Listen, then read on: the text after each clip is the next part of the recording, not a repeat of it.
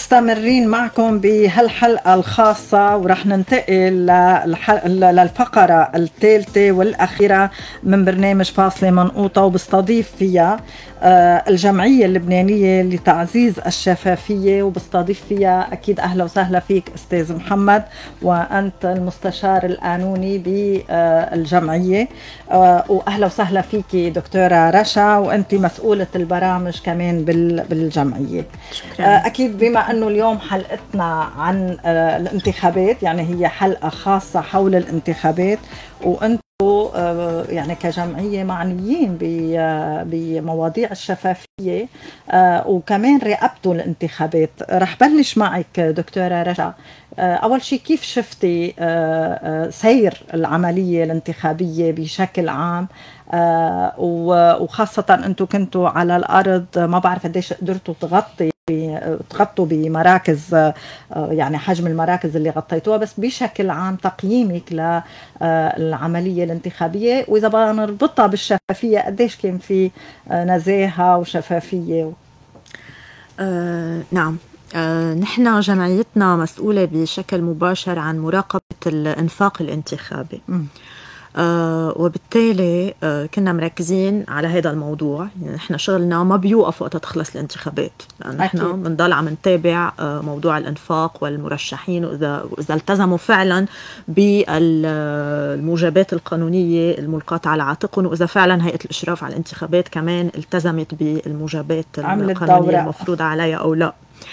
كان عندنا أكيد آه، سلسلة ملاحظات إذا بدنا نحكي على الصعيد الإداري والإجرائي. فينا بس هيك بلمحة لحتى المستمعين والمتابعين يعرفوا الجمعية. أكيد أنتم معروفين ويمكن كل الناس بتعرفها بس للي ما بيعرفوا لأنه نحن بنطلع لايف كمان ومن خارج لبنان بي بيكونوا عم يتابعونا. باختصار نعم. عن الجمعية. آه، الجمعية اللبنانية لتعزيز الشفافية لا فساد. هي جمعية تأسست سنة 1999 الجمعية هي الفرع الوطني لمنظمة الشفافية الدولية العالمية. Transparency International وتعنى بكافة الأمور المتعلقة بالشفافية وبمكافحة آه، الفساد. أه نحن بنشتغل على كثير مشاريع يعني أه مركزين أكثر شيء على القطاع العام لكن في عنا أه يعني ممكن يكون عندنا مشاريع مستقبلية بنتطرق فيها لل... للقطاع الخاص, الخاص. نعم. لمواضيع الشفافية والفساد هل فكرتوا تطالوا كمان قطاع المجتمع المدني بموضوع طبعا. الشفافية؟ هذا خارج موضوعنا ولكن هيك. طبعا. خلينا نرجع للانتخابات. آه كيف كان رصد الجمعية لموضوع النزاهة آه والشفافية بالانتخابات؟ هل كان في آه تطبيق للنزاهة والشفافية؟ كنت عم بلشت عم بحكي أكثر عن إيه، أنا الصعيد الاداري الناس يعرفوا الجمعية. أكيد ولا يهمك. هي الفكرة إنه أصدرنا يعني سلسلة ملاحظات وتوصيات بتتعلق بموضوع الأنفاق الانتخابي. من هذه الملاحظات مثلا أنه آه، الوزارات المعنية بالعملية الانتخابية وزارة الداخلية والبلديات ووزارة الخارجية مثلا ما قاموا بنشر العمليات المالية والعقود اللي بتتعلق بالأمور اللوجستية لإجراء العملية الانتخابية وهن مم. بالمبدأ بيوقع على عاتقهم موجب النشر مم. بموجب آه قانون الحق للوصول للمعلومات مم. اللي هو القانون رقم 28 على 2017 اللي بيفرض عليهم بيفرض على جميع الإدارات العامة مم. أنه تنشر من تلقاء نفسها جميع. العقود وجميع المعاملات المالية التي التي تجريها. موضوع آخر كمان سلطنا الضوء عليه آه كمان لم يتم نشر قرارات معللة فيما يتعلق بتعيين هيئات الأقلام م. سواء بالخارج أو بلبنان م.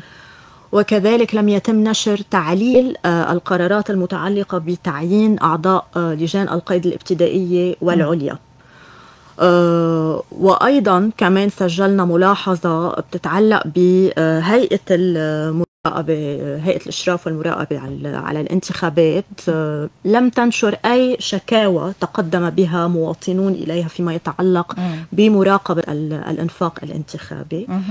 آه، مع إنه هيدا بصلب دورة يعني. دورة okay. نعم إنه إنه تنشر.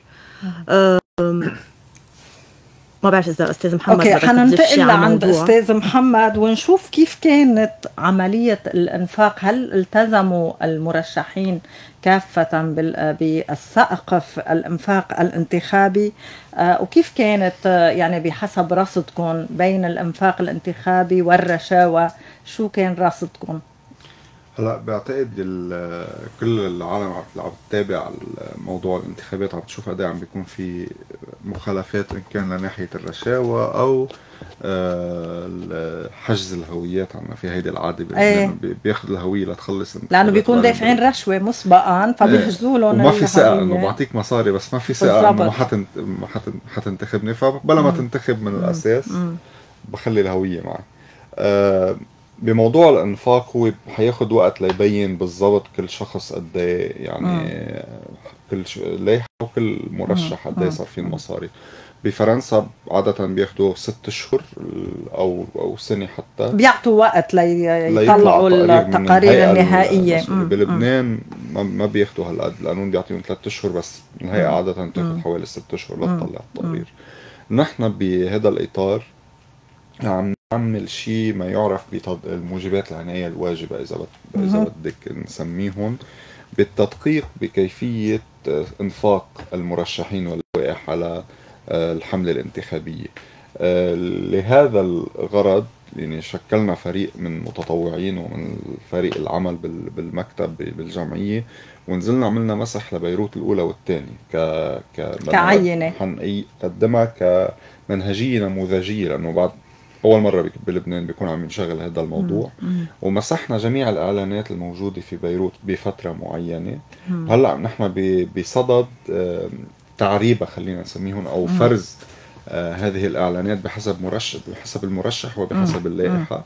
وحيكون في آه أرقام تقديرية. قد إيه ممكن تكلف هذه اللوحة الإعلانية؟ قد إيه ممكن تكلف نشرها آه ووضعها يعني على بانو معين. هذا أول شق. ثاني شق هو إنه في معظم الإعلانات المنشورة على الطرقات هي بأماكن مخالفة للقانون. يعني على الشجرة على عمود الكهرباء على عرض الطريق هذه كلها مخالفات يجب ازالتها أساسا وهون دور بلدية بيروت كان. مثلا نقول بلديات بالمناطق إنه يزيلوا هذه المخالفات.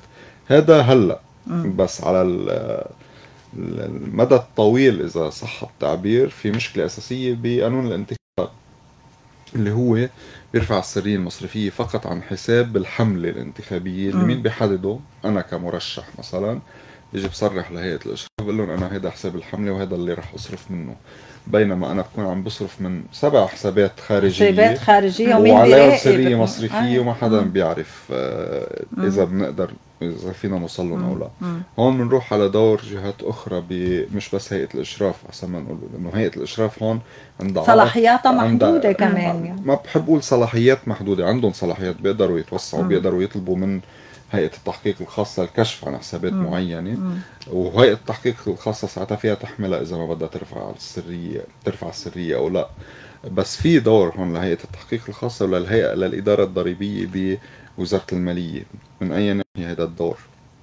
اليوم كل شخص بلبنان المفروض يكون عم بيصرح قدم تصريح آه، فصلي كل ثلاثة أشهر بعتقد لازم نقدم آه، تصريح للإدارة الضريبية كيف أنا من وين المدخول تبعي وكيف عم بصرف مصرياتي لحتى يشوفوا قد يحطوا ضريبة علي.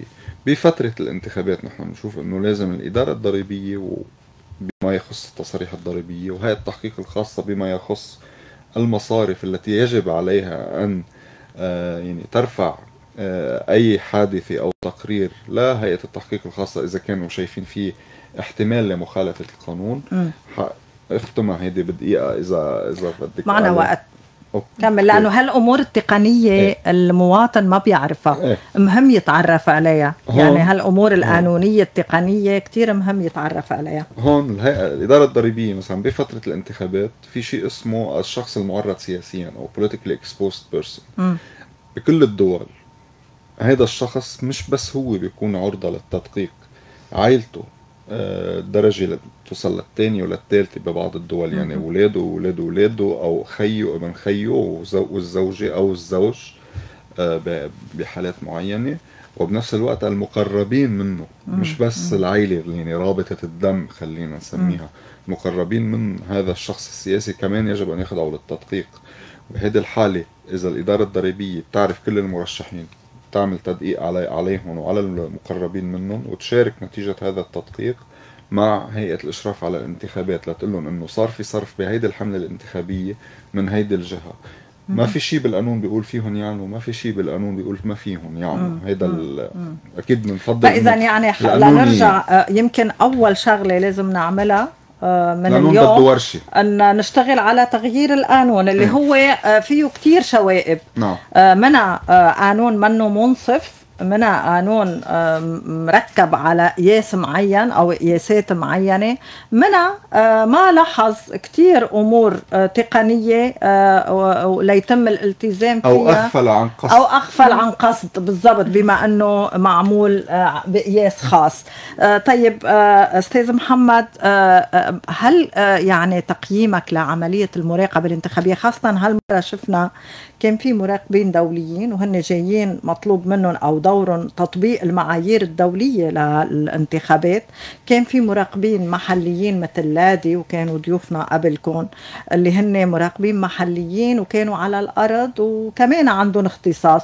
وأنتم آه، كجمعيه آه، آه، تعنى بالشفافية كمان كان عندكم تخصص هل كملتوا بعضكم؟ هل كان في آه، يعني قدرنا نسكر ثغرات بعملية أو قدرنا على الأقل نرصد وفعلا نطلع تقارير آه، نعلنها على الرأي العام وللجهات المعنية. وهل هيدا حيكون مؤثر لبعدين؟ وحيأسس لبعدين أنه نوصل لانتخابات شفافة؟ ما بعرف إذا كبرت السؤال بس هو لا هو جوابه إيه. كثير سهل. بلبنان نحن ولادي واليو بي ومؤسسة مهارات. عاملين شيء اسمه تحالف الإصلاح الانتخابي. حلو. آه هذا التحالف هو مسؤول عن مراقبة العملية الانتخابية بس نقول عملية انتخابية يعني من مش من مش من مش من يوم الانتخابات. بس. من قبل ما تبلش حتى الحملة اليوم في جهد مشترك collective action إذا بدك لحتى نقدر نصلح بالقانون وبغير القانون وبالمخالفات. على صعيد المراقبة الفعلية على الأرض لادي مثلا هن مستلمين موضوع المخالفات بالمراكز والمخالفات الواضحة الصريحة والصارخة للقانون. عندك ال UPD كلنا بنكمل بنراقب بكل المحلات بس في حدا مركز على شغله أكثر من الثاني اليو بي دي اللي هو الاتحاد اللبناني للأشخاص ذوي الإعاقة سلفانا صحيح بعرفهم. آه، هن عم بيركزوا أكثر على موضوع تجهيز مراكز الاقتراع للأشخاص آه، ذوي الإعاقة وللصراحة هالسنة يعني مثل كل السنين أنا كنت عم راقب كمان ضمن البعثة الدولية وشفت كان في ولا معيار من معايير إيه وشفنا يعني لهم ثلاث أشهر بيروحوا بيجوا عند وزاره الداخلية بيعملوا مسح شامل للمراكز وحددوا شو هي المراكز المنيحة وشو هي المراكز اللي لازم ينشغل عليها. وكمان هون يمكن ال بي دي أكثر بيعرفوا بيحكوا بهذا الموضوع. فعندك مهارات عم يعملوا آه، رصد للإعلام يعني الظهور الإعلامي للمرشحين وهن هذا الشيء بيعملوه على مدار السنة مش بس بالانتخابات. ونحن بموضوع الشفافية والإنفاق الانتخابي والرشوة الانتخابية. آه هيدي الأمور كلها يعني بتكمل بعضها. طبعا. آه لحتى نقدر وأنا بشوف يعني هذا الدور لازم يكون مكمل لدور هيئة الإشراف على الانتخابات لأنه هيئة الإشراف على الانتخابات. اولا الموازنة بيعطوها بيعطوها موازنتها قبل يعني ب 2018 اعطوها هي قبل بجمعتين من الانتخابات. هلأ يعني كمان تأخروا كثير لصرفوا لهم الاعتمادات. آه، أو بينطروا لحتى يو إن دي بي أو حدا تاني يجي يقدم لهم ال equipment والمعدات اللي بدهم يستعملوها. آه، وبنفس الوقت الموارد البشرية اللي عندهم يمكن ما بتكفي ليكونوا عم بيغطوا يعني في عندنا كل كل لبنان يعني أكيد أكيد ما بعتقد العدد الموظفين كافي بقلب. محمد هيدا بياخدنا لسؤال تاني. أنا بؤمن بالشراكة الإيجابية آه، بين المجتمع المدني والدولة وحتى القطاع الخاص. اليوم مش لازم وكون المجتمع المدني هو مزود مزود آه، بخبرة بمعلومات وخاصة أنه حقيقة المجتمع المدني اليوم آه، بلبنان وبالعالم العربي تبلور وثبت حاله وعنده الخبرة واشتغل على كتير من القضايا والملفات. مش لازم يكون في تعاون وتنسيق تنسيق بين المجتمع المدني المعني بهال بمراقبة الانتخابات والهيئة هيئة الإشراف ووزاره الداخلية آه، يعني والقوى الأمنية وكل الجهات المعنية لحتى يكون عمل متكامل أكثر آه، أكيد. وفي أكثر من اجتماع صار بين وزارة الداخلية والتحالف وال يعني الهيئات المحلية أو الوطنية والهيئات الدولية قعدوا مع وزارة الداخلية قعدوا مع هيئة الإشراف. آه ونحكى كثير بس هذا لا يعني ما هي كمان هون بدك تنتبه إنه ما يكون صك براءة ل... لوزارة الداخلية أو هيئة الإشراف إنه نحن عم نشتغل مع المجتمع المدني وكل شيء تمام وما في أي مشكلة. لا الفصل آه ضروري. أكيد. ولا والدور يعني تحديد الأدوار. أي. كمل وداعم وبنفس الوقت بالضبط العلاقة و... تكاملية.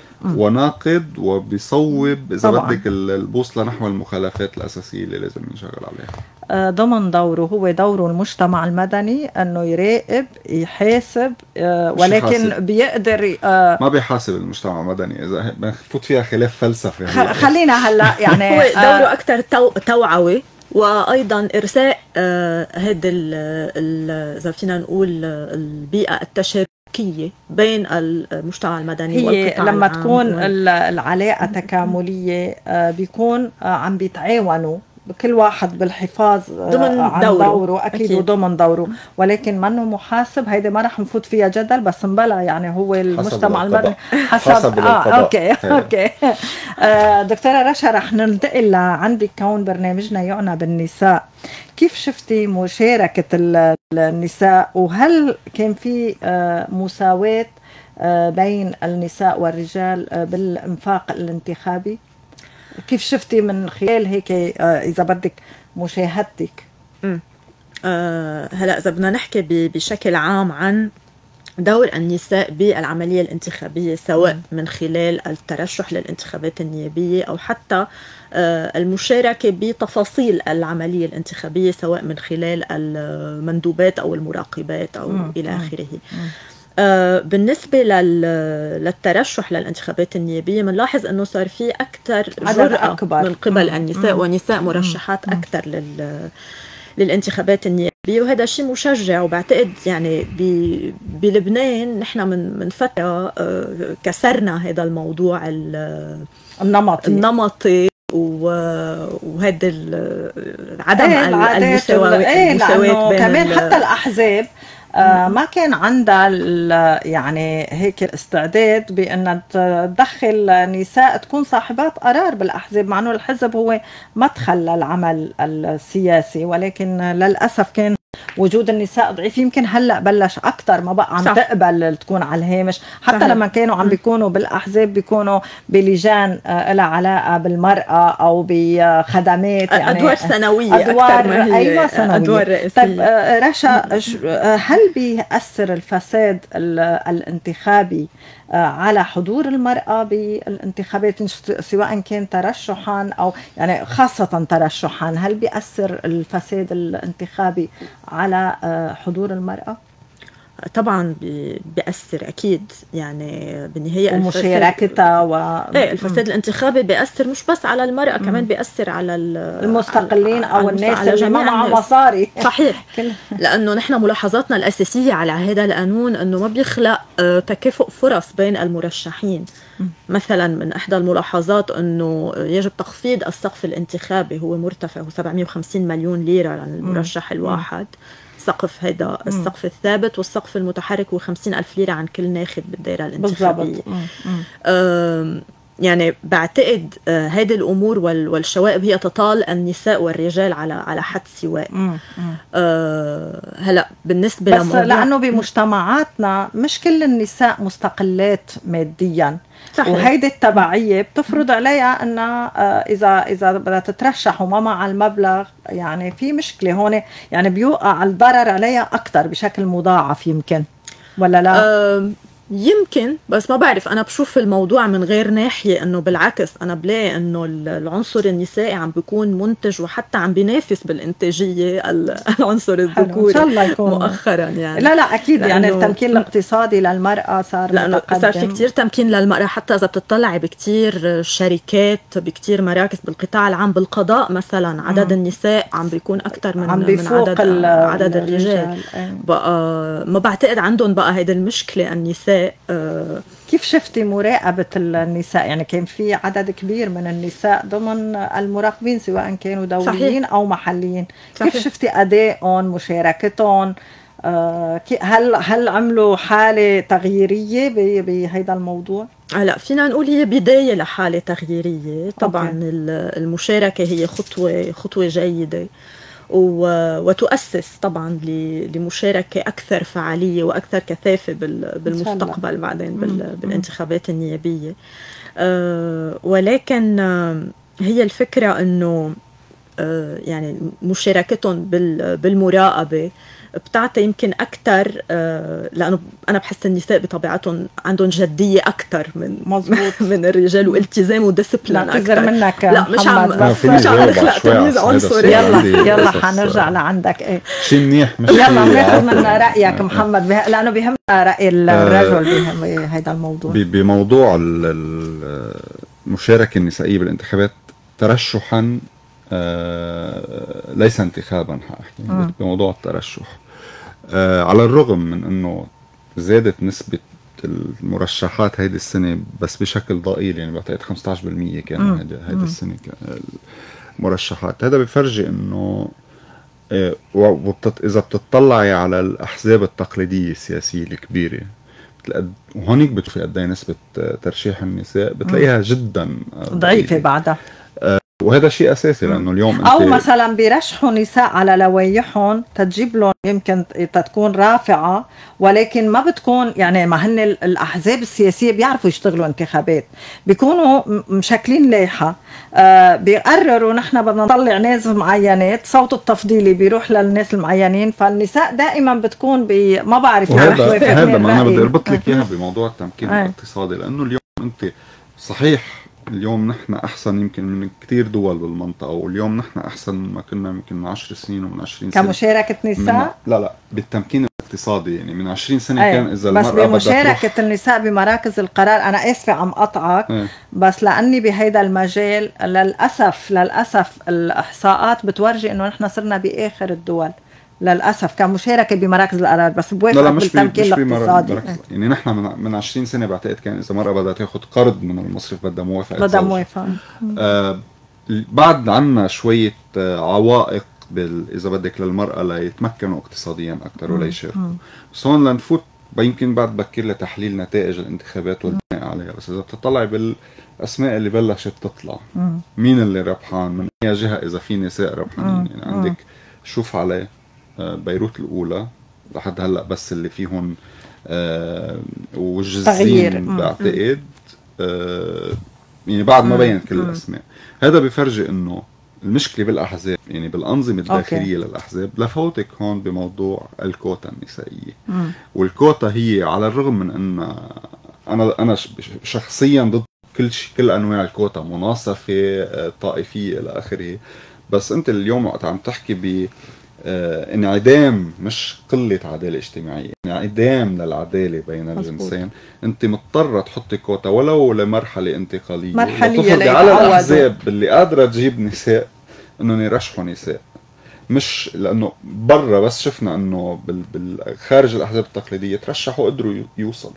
وما كان في حتى نقاش إنه لأنه مرأة بنتخبها أو بنتخبك العالم بالعكس بس تكون المباراة حرة ونزيهة المرأة بتقدر توصل مثل مثل الرجل. بس بنفس الوقت ما حتو ما حتوصلي لمحل إنه فل حرية.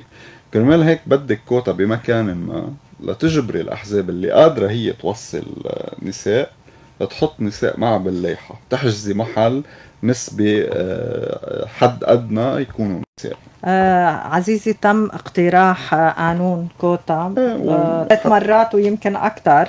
هالمرة للأسف بمجلس النواب النواب حتى ما رفضوا يناقشوه.